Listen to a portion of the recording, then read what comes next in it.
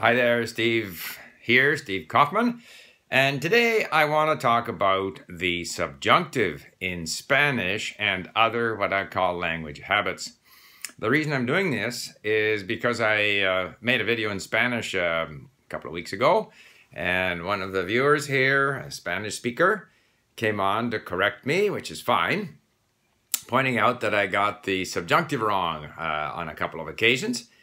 And also that I said la sistema instead of el sistema. Sistema, although it ends in an A, uh, like other words of Greek origin, are often masculine. All right. They're both part of the same phenomenon. And that is this. First of all, with regard to the Spanish subjunctive, you can Google today and you can find umpteen websites that will give you a detailed explanation of when to use the subjunctive and what the endings are in the different verbs and the irregular verbs and so forth and so on. I just looked at one. It had like eight different situations where you use the subjunctive. Uh, and then it had tables of endings and stuff like that.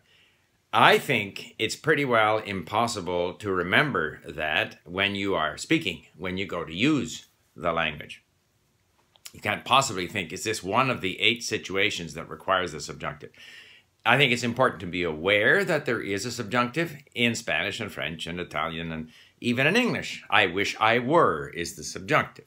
The subjunctive basically is a, a, change in the form of a verb reflecting the fact that there is some wishing, some uncertainty, some obligation, that kind of thing. So it's not a straight this is. It's I wish this were. So this uncertainty surrounding the verb causes the verb to change in a number of languages.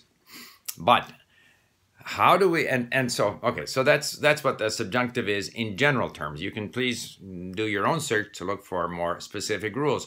Rules which i have looked at many many times and yet i continue to make mistakes. Why? Because language is a matter of habit and you can lose a habit. Uh, you can if i'm surrounded by spanish content and spanish speaking people and reading a lot in spanish the likelihood that I maintain the sort of Spanish habit is greater. When I am not in that situation where I don't have, you know, the opportunity to hear, read, speak Spanish, I tend to revert back to habits from my own language that are more, you know, strongly ingrained in me. Uh, and that's normal. I mean, I often make the case that uh, you know, you hear uh, German people say, I have lived in Canada since many years because that's the German structure. Uh, and and many Swedish people say it is many people in China instead of there are because that's the Swedish structure. Yet, if we are surrounded by the language, we start to, if we are open to the language, we start to pick up on the way people are speaking around us, and we recover some of these habits. But to get something like the subjunctive right, you actually have to develop that as a habit. Now, reading the rules may help, but you'll you'll you'll very quickly forget what you've what you've uh, read there. Another thing about these habits and about correct language habits, and, and let's just digress. Learning out of the language is actually acquiring cultural habits, linguistics habits of another group. So you have to be open to receiving these influences to allow them to penetrate your brain, so to speak.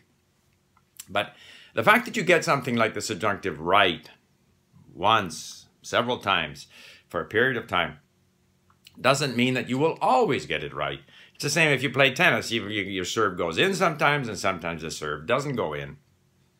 The fact that you get it right doesn't mean you won't get it wrong later on, and vice versa.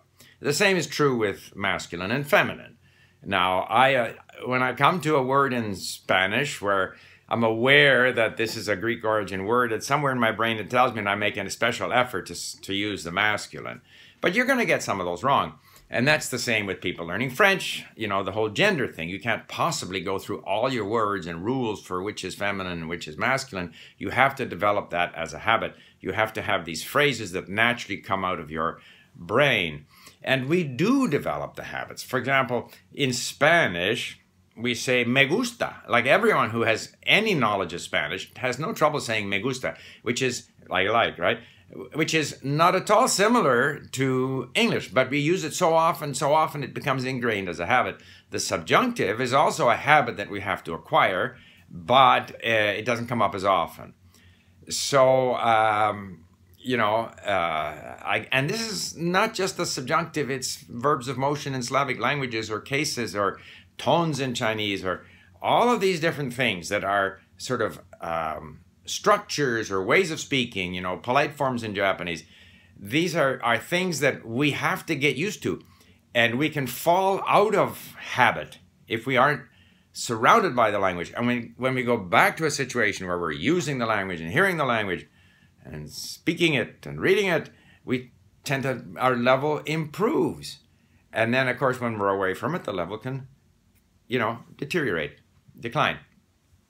And some things just simply don't get corrected.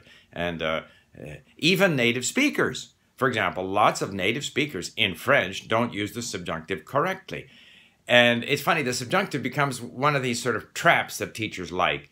I, uh, I read somewhere that in order to get your bilingual bonus as an Anglophone, uh, you know, public servant in Canada, if you work for the government, they offer you a bilingual bonus. So if people couldn't get the subjunctive right, they wouldn't get their bilingual bonus, which of course is absolutely ridiculous because it's quite possible to communicate very effectively, to understand what is said, to get your meaning across, all without using the subjunctive. Lots of native speakers do it. They also, and, we see this in English, there are forms that are gradually falling out of favor. A lot of people don't say if it were, they, they say if it was. And they don't say to whom, they say to who. So it's possible that the subjunctive will evolve or that in certain situations people no longer use the subjunctive. So that to use this as a, a criterion for determining, you know, uh, bilingual bonuses in the Canadian public service is just ridiculous. However, we all would like to sound as elegant as possible in the language we are learning. That means we want to be accurate. We want to basically conform to what is considered correct usage. And if we want to get better at the Spanish subjunctive or gender or anything else, we simply need a lot of exposure to the language. Listening, reading, speaking, writing, the more ways in which we interact with the language, if we are open to what's happening in the language, we will gradually up our game, improve. We may, out of curiosity, go and check up the rules that affect the subjunctive. And in fact, I think it's a good thing to do. No question that this viewer of mine pointing out that I made some mistakes with subjunctive makes me a little more, you know, aware of the subjunctive. And so I'm going to be a little more careful. I'm going to watch for it more when I listen and read. And when I speak, I'm going to make a little greater effort to make sure that I get the subjunctive right more often than wrong. And hopefully that way uh, develop some good habits. But it won't be overnight, and I can get it right once and wrong the next time. But the main thing is to communicate. So there you have it. Uh, my take on the Spanish subjunctive and other language habits. Thank you for listening. Bye for now.